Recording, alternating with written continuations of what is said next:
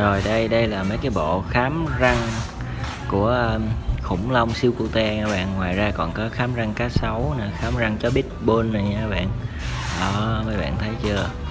Khá là đẹp luôn nha. Bạn nào thấy thích thì cứ comment bên dưới nha các bạn ơi.